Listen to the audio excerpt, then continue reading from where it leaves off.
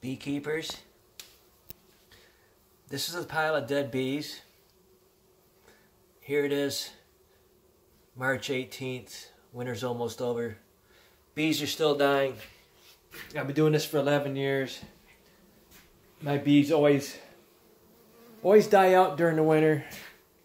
Why? Because your queen stopped laying. The bees that she created in the fall going into winter have to live long enough to make it to the spring. I'm up in mid-Michigan. I'm surrounded by crop farmers.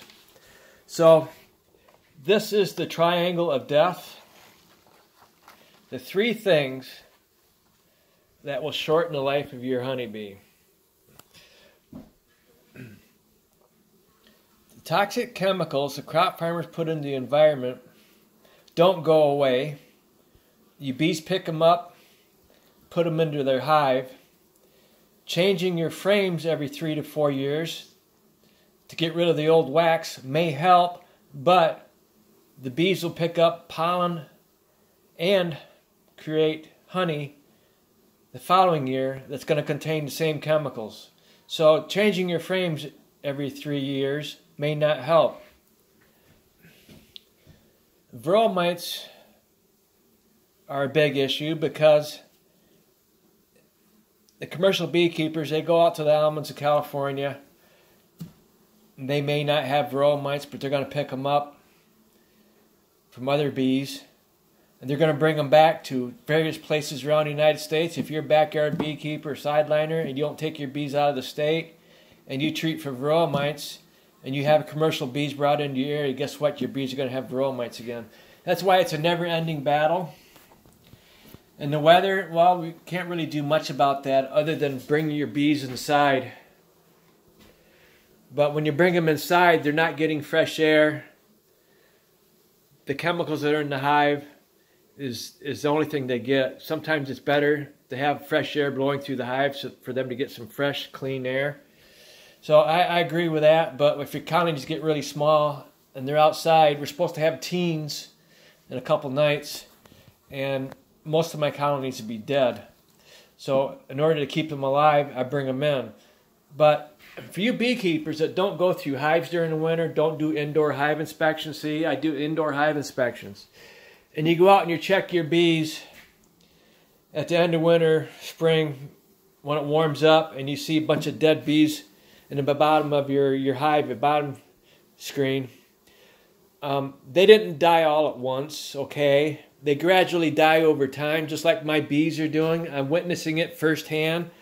I go through them every two weeks, and I just cleaned this one out, see? I clean it out, put it there in a pile, and I get it outside. Uh, I've thought that would help keep them alive longer, but it doesn't seem to make any difference. If you leave the dead bees in there, you clean them out, it's just the same. No, nobody's going to do anything about this, and the reason why well, who makes money from this situation? The toxic chemicals.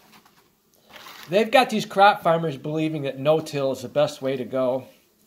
I'm 57 years old. I remember a time when farmers went out and plowed their fields as the first thing they did. They got the weed seeds underneath the soil, eight inches or so, so they didn't have to worry about the weeds. Then they'd go through and disc it lightly before they planted. And that got rid of the weeds. I had Amish neighbors that farmed. They never used chemicals, and they had some of the best looking fields that I can remember. But nowadays, they don't do that. You rarely ever see a farmer plow a field. He would rather go out there and spray it first, and then disc it, and then plant seeds with uh, neonicotinoids, neonicotinoids, however you want to pronounce it, the pink seeds with coating on them to control the pest. So your chemical companies, your ag companies are making a lot of money off that, and your crop farmers are still making money. And the varroa mites, who makes money from the varroa mites? Well, of course, your beekeeping supply stores and your commercial beekeepers. How do commercial beekeepers make money from varroa mites? Well, there's a steady demand of backyard beekeepers, sideliners, that people that continue to want to have honeybees like me, they have their bees die during the winter and they'll go out and they'll buy new bees. And these packages you're not going to find anybody to admit this, but the old queens, the commercial beekeepers, they requeen every year. They don't kill that queen. They put that queen in a package to some of their old wore out bees that were in the almonds in California.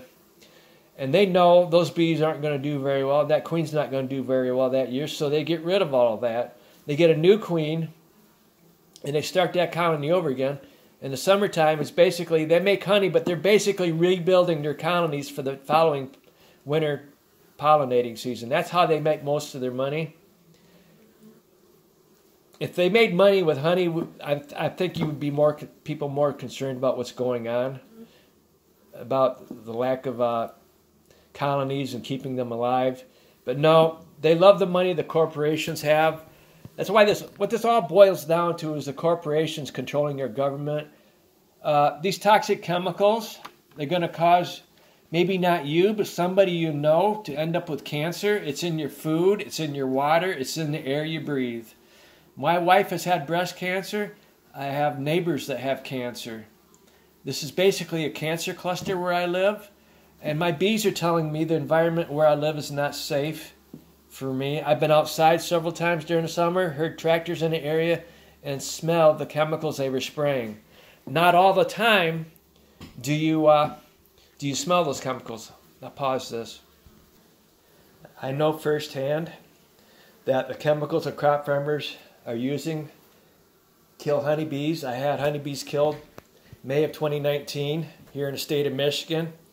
I knew the farmer, and I called and ended up talking to his mother, told him what had happened. They never came out to apologize. So the next day I called the state of Michigan, and this lady rushed right out.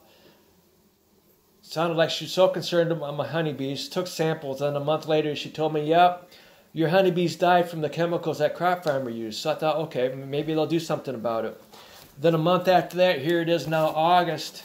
They send me this letter in the mail claiming the crop farmer did nothing wrong. And they tried to tell me it wasn't windy that day. Your government basically lies to you. They're basically uh, just pacifiers trying to keep you uh, content, believing the, the government's going to help out and everything else. But I was I was here that morning. It was early in the morning. It was the sun hadn't even come up yet, really. And 150 yards south of me, there was a farmer out there. He was planting, and the wind was coming from the south very strong wind, about 20 miles an hour.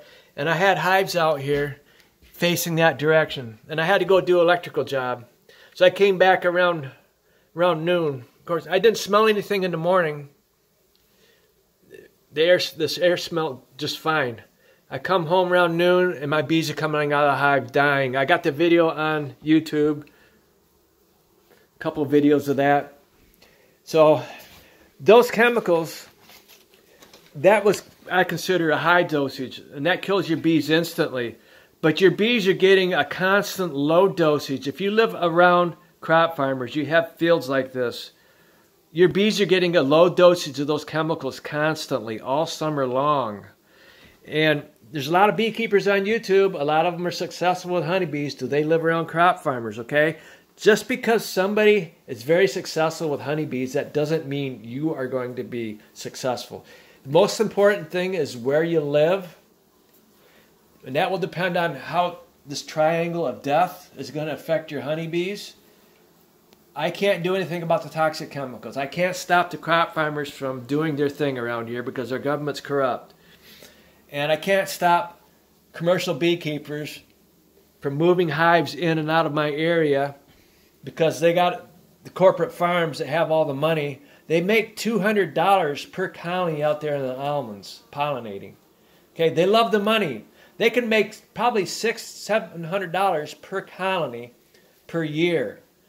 Like two or three hundred dollars pollinating. After the almonds, they probably go somewhere else. And then if they pull off a package of bees from that colony, they make another hundred, hundred twenty-five dollars.